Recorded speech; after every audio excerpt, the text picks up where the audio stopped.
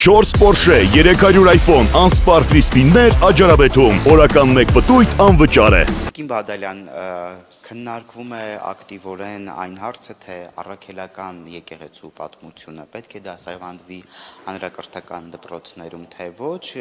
փաստորեն կրթության գիտության մշակույթի սպորտի նախարարությունը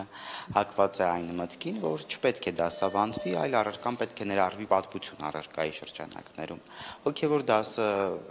բարձրաձայնում է խնդրի մասին, ինչու ոչ նաև ձեր գործընկերներն են բարձրաձայնում խնդրի մասին, որն է ձեր տեսակետը այս առարկան ինչպես ինչպես պետք է մատուցվի դպրոցում կամ առհասարակ պետք է մատուցվի թե ոչ։ Գիտեք, մենք հարցերին շատ էսպես փոքր հերավորությունից ենք մոտենում, այնինչ մեզ պետք է շատ հերվից գալ, նախ հասկանալ նպատակները, ինչ նպատակներ ունենք մենք Այո, եթե մենք խոսում ենք գիտության զարգացման, մեր երկրի առաջ, առաջընթացի եւ գիտելիքահեն, տնտեսակա, տնտեսապես հզոր երկիր ունենալու այս բոլոր հարցերի մասին եթե մենք խոսում ենք, ապա կան շատ այլ առարկաներ, որոնց հույժ կարևորությունն ու անհրաժեշտությունը կա կրթական համակարգում բայց նպատակը նախ պիտի ձևավորենք, մենք հասկանանք որն է մեր նպատակը, ինչ ենք ուզում մենք անել եւ ըստ դրա մենք նոր կարող ենք որոշել որևիցե առարկա մեզ անհրաժեշտ է թե անհրաժեշտ չէ այն որ դպրոցում պետք է ձևավորվի արդեն հայրենասիրությունը, հայագիտական, այսպես գիտելիքներ պիտի ունենան մեր երեխաները, դա մեզ համար այո անհրաժեշտ է։ Այս հարցում հայ առաքելական եկեղեցու պատմությունը որոշակի նպաստող գործոն ունի թե ոչ, սրանք մեթոդիստները պիտի ուսումնասիրեն։ Մեծ ողբերգություն իհարկե չէր լինի, եթե առարկան տեղավորված լիներ հայ հայ ժողովրդի պատմության մեջ, ինչպես որ անցել ենք մենք օրինակ, ու ինչպես որ անցել եմ նաև ես պատմության ֆակուլտետում, այսինքն դա առանձին դասընթաց չի եղել եւ առանձին եղել է կրոնների պատմություն եթե բովանդակային տարբերակները շատ են, այստեղ մասնագետները պիտի խոսեն, այսինքն եթե մենք երեխան ճունի բոլոր կրոնների մասին պատկերացում եւ այդ հենքի վրա ինքը չի սովորում հայ առաքելական եկեղեցու պատմություն հնարավոր է որ նա լավ չհասկանա եւ չգնահատի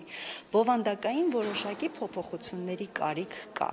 բայց կարծում եմ որ ընդամենը քիչ թեկուզ դասաժամերով այն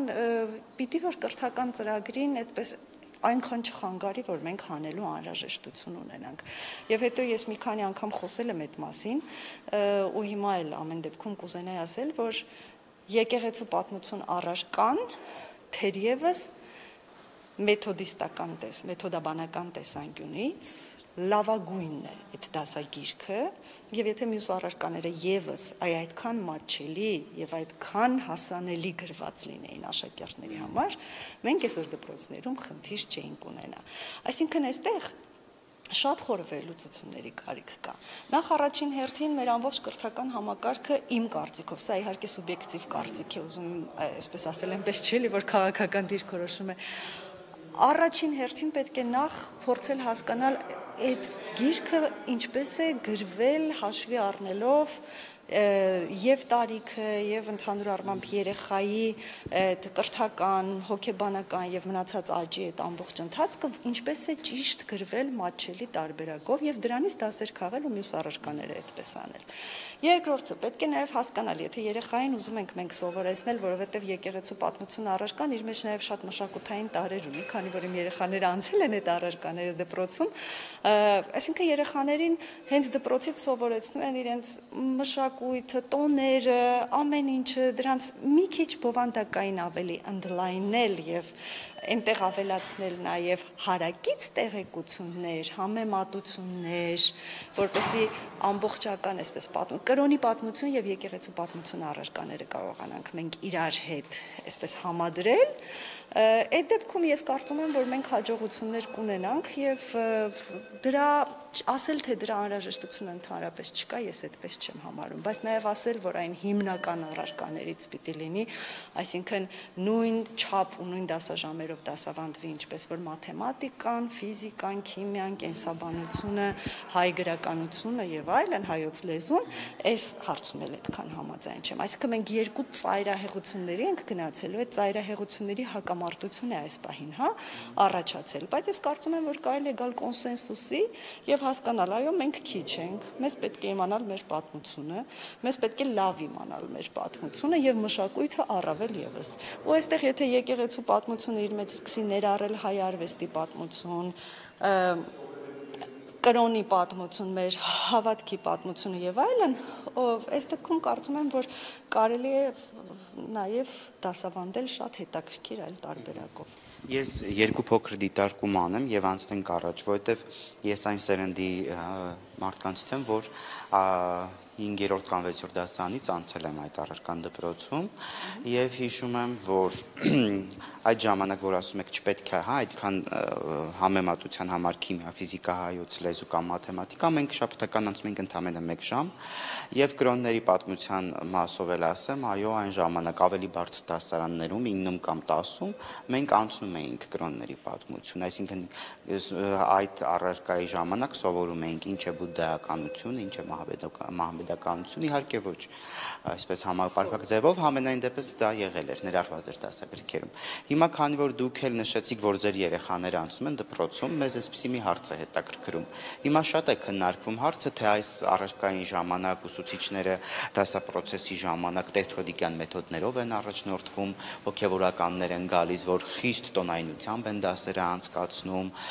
դասը սկսելուց առաջ երեխաները տերունական աղոթքով են սկսում։ Դուք նման բաներ տերթոդիկյան մեթոդների լսել եք եւ արդյոք խնդիր տեսնում եք, որ հայ երեխան, որը անկախ հանգամանքից կաթողիկ եկեղեցու հետևորդ է, այլ կրոնական կազմակերպության կամ հայ առաքելական եկեղեցու տերունական աղոթքով է դասը սկսում։ Այստեղ խնդիր տեսնում եք։ Տերթոդիկյան որևիցե մեթոդ չեմ տեսել եւ չեմ տեսնում որևիցե վատ բան տերունական աղոթքով կոնկրետ այդ դասը սկսելու մեջ չեմ տեսնում ես այդտեղ վատ Ուղղակի չեմ տեսնում ինչն է այդտեղ վատ, եթե աղոթքով են սկսում եւ ինչ վատ բան կա, եթե մեզանից յուրաքանչյուրը անգիր իմանա տերունական աղոթքը։ Ես անկեղծ ասած չեմ հասկանում այդ քննարկումների իմաստը եւ կարծում եմ, որ այո, երեխաները պիտի դա անգիր իմանան։ Եթե մեր սերունդի մեջ ես շատ լավ հիշում եմ, որ ես էլ այն սերունդին եմ պատկանում, որ չենք անցել մենք այդպիսի առարկաներ, բայց եւ ընդհանուր բարեկամության, հարազատության շրջապատի դասընկերների մեջ թերևս ես միակն էի ով տերունական աղոթքային գիրքի դեր եւ և սա նորմալ չէր ինձ համար, որովհետև մինչև հիմա էլ նորմալ չի, որովհետև ես կարծում եմ անկախ նրանից դու ամեն օր աղոթում ես, թե չես աղոթում, տերունական աղոթքը պետք է իմանալ անգիր։ Եվ եթե քեզ դպրոցում դա չսովորեցնեն, ապա հետո չգիտեմ, կստացվի ինչ որ կերպ դա սովորել, թե ոչ։ Էնպես որ ես այստեղ որևիցե վատ բան չեմ տեսնում, բացարձակապես, այն եւ երբ որ հոգեվորականներն են գալիս, թող խիստ տոնայնությամբ չխոսեն, բայց երեխաներն էլ ունեն հոգեվորականների հետ շփման այդ անհրաժեշտությունը, երբ որ ոչ միայն երեխաները, բոլորը ունեն այդ շփման անհրաժեշտությունը։ Եթե բախտդ բերում է եւ քեզ հանդիպում է մի այնպիսի հոգեվորական, ում հետ զրուցելուց հետո դու ամբողջությամբ հոգեպես լցված դուրս ես գալիս եւ ապրելու ցանկություն է քեզ մոտ առաջանում, չեմ տեսնում որևիցե վատ բան դրա մեջ եւ ճիշտ հակառակը Եթե այ բացի գիտելիքից, որը դպրոցում ստանում են նաև այդ մարդկային հատկությունները եւ քրիստոնեական մոտեցումներով այդ ապրելու սաղմերը դրվեն հենց դպրոցից, գուցե մենք այդքան չարություն չունենանք, որքան որ հիմա ունենք մեր երկրում իրար նախանձելու, իրար ուտելու, վնասելու այդ ցանկությունը, որոնք ամբողջությամբ հակասում են մեր 10 պատվիրաններին։ Ես դրա մեջ վատ բան չեմ տեսնում։ Եկեղեցու նկատմամբ Արշավետիկին Բադալյան հատկապես իշխանապողությունից հետո անդադ թիրախում է հայ առաքելական եկեղեցին դեպքերը կարող ենք մանրամասնել թվարկել։ Հիմա էլ ասենք մասնագետներն ասում են հանրակրթության ոլորտում այնքան խնդիրներ կան, խիստ օրակարգային, որոնք առաջ լուծում են պահանջում։ Ընկնել եւ այս հարցը բերել օրակարգ, սա արդյոք հերթական անգամ եկեղեցուն ինչ որ նոտա հղել չէ, ինչ որ բան հասկացնել չէ։ Դրա համար ես կարծում եմ, որ պետք է գալ կոնսենսուսի եւ պետք է հարցը շատ խորը քննարկել հենց եկեղեցու հետ որովհետև հերքել, որ եկեղեցին մեր պատմության մեջ ունեցել է կարևոր նշանակություն, չի կարելի, անկախ տարբեր կարծիքներից։ Ուղղակի հերքել չի կարելի։ Այն, որ այս պահին էլ այսպիսի ճգնաժամային իրավիճակներում եկեղեցու դերը շատ մեծ կարող է լինել հասարակությունում, սա էլ չի կարելի հերքել։ Այն որ խնդիրներ կան եկեղեցում, սա էլ չի կարելի հերքել, բայց այդ բոլոր խնդիրները իմ կարծիքով լուծելի են։ Եվ մենք մեր հազարամյա պատմության, հազարավոր տարիների պատմության ընթացքում հասկացել ենք, որ մենք միշտ հաղթով ենք դուրս գալիս, երբ որ այդ համերաշխությունը լինում է պետություն եկեղեցի վիճակներում եւ շատ լուրջ խնդիրներ ենք ունեցել հակառակ իրավիճակում, հա, այդ բոլորը գիտեն պատմությունից։ Հետևաբար այս պահին ասել ով ավելի շատ դերակատարում ունի, դրա կարիք անհրաժեշտությունը այս ծանր օրերի ընթացքում պատմության նաև այս ծանր ժամանակաշրջանի ընթացքում բացարձակապես չկա։ Ես կարծում եմ, որ մենք պետք է կարողանանք լավ երկ խոսել եւ գալ որոշակի այսպես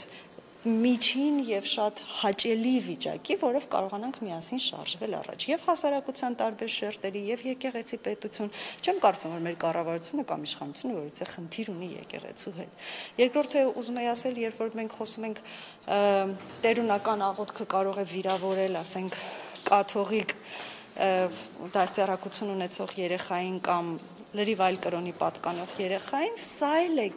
նեղ մտածելակերպի արդյունք, որովհետև ես օրինակ իմ ուսանողության տարիներին շատ-շատ սիրում էի կրոնի պատմություն առարկան, եւ ես գրեթե բոլոր աղոթքները գիտեի անգիր եւ բոլոր այսպես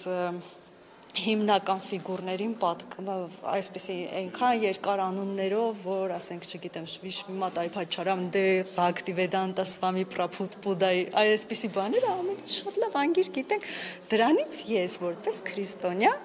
բացարձակապես իմ քրիստոնեական էությունը դրանից չի վիրավորվում եւ հետեւաբար եթե դու ապրում ես մի երկրում որի պետական կրոնը հայ առաքելական կրոնն է ապա անգիր իմանալ տերունական աղոթքը կարելի ասել դու պարտավոր ես, անկախ նրանից, թե դու ինչ լեզվով ես աղոթում։ Էնպես որ այս բոլոր հարցերը պետք է դնել մի կողմ, այսպես հանգիստ իրար հետ զրուցել, գալ կոնսենսուսի եւ հասկանալ, որ չկա խնդիր, արհեստականորեն թող չստեղծեն այդ խնդիրը, թե մեր իշխանությունը անընդհատ նոտա է հղում եկեղեցուն, հետո եկեղեցին է նոտա հղում։ Չէ, կան խնդիրներ, որոնք պիտի լուծվեն։